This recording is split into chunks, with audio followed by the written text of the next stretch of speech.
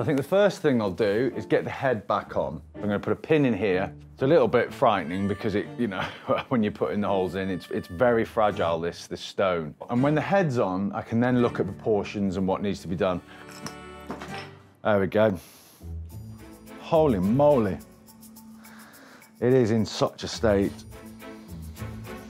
So obviously this pin just wasn't long enough. I just could have put that in a lot further. I'm going to put another pin in, quite a long pin, to give it a lot more strength.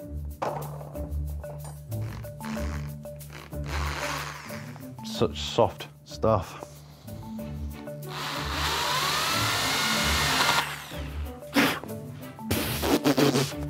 Lovely limestone for breakfast. And I'm going to use this very, very quick setting glue. It's for setting major slabs of stone uh, in the building industry, and it is solid. It's always better to put more than you need. I hope this head is in the right place. It should be, but if it's not, this is never coming off. There's no going back now. Absolutely no going back.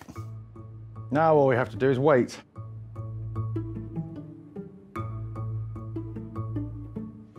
Okay, so it's uh, nice and set now. Oh, brilliant. Yay, stayed on. Oh, it's totally transformed it now, the head's back on. Her head, there's something so charming about her face. It's helped me understand what needs to happen with this figure.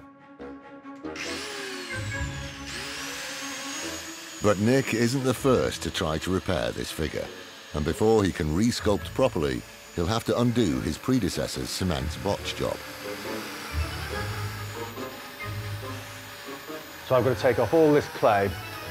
So nice crisscross across so I'll then slowly chip them off. Because it's the wrong material, it all needs to come off. So it just means I know where I need to go. Oh, and obviously it's going to damage it somewhat. But I'll just try and do it the best I can.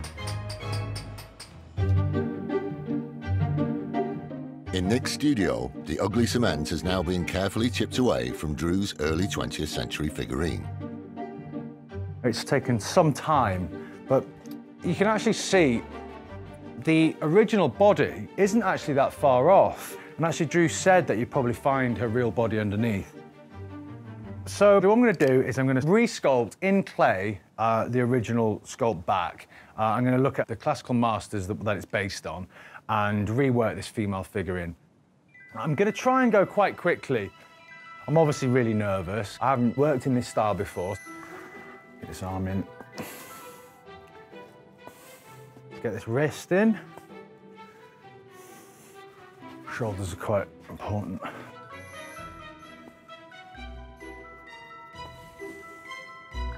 It's important to do the silhouette. Get the silhouette on there first shoulder in. So I'm just getting the basic proportions right, just working out where the muscle structures go and just the sort of overall mass. It's starting to come together now. I'm just using my scraper tool, which uh, is great because it defines contours. So you can follow from where the stone is around. It's nice to see her start to form. This would have been carved with a chisel, which is basically a very different way of sculpting. Sculpting is adding clay uh, and carving is taking away. So what I've got to do with this is try and make it look like it's carved.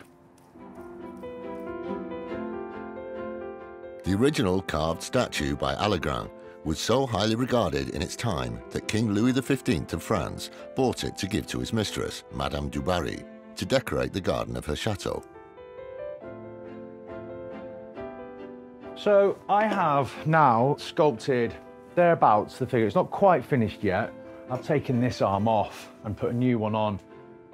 I mean, it's the same proportions, but it just gave me um, more play and um, I could actually bring the arm back slightly like the original one and bring this hand in. Once the clay model is finished, Nick will use it to make a mould from silicon and resin. The mould can then be filled with a material similar to the stone aggregate used by the 1920 sculptor. In this statue was actually particularly difficult because there was nothing left and I really had to try and find the sort of form. I know Drew's got a particular eye and, you know, I really hope he likes it. It was a real mess. I'm not sure what I'm expecting today because the statue that I gave Nick wasn't really a statue anymore. It was just a pile of broken rubble. Um, it was about as bad as it gets, to be perfectly honest with you. It was, um, it was skip ready. When this statue arrived in Nick's studio, it was shattered, with a brutal repair in cement that had failed to hold. Hello, mate. How are you? Yeah, yeah. Oh, wow. I think. Well, she certainly didn't look like that before. No. Is it the same statue? Yeah, yeah, it's been was- some work. It was smashed to bits. You just bought another one, haven't you? yeah, exactly. Perfect. You'll have to remind me. The head was off it, right? Yeah, no head. Basically, from that whole torso up, resculpted. Wow. New hand, new arms. New arms. hand? Yep, new back, new chest. Uh, it was a bit of a labour of love, to be honest with you, especially getting that cast on there. It was quite scary. Sculpted it in the clay, Oh, wow. remoulded it, and there's a two-part mould, and pressed it back together. But getting that pressed on was difficult, and then I carved it back. That's great. Thank God. Drew liked it. And do you know what was really good is the fact he couldn't remember what was wrong with it.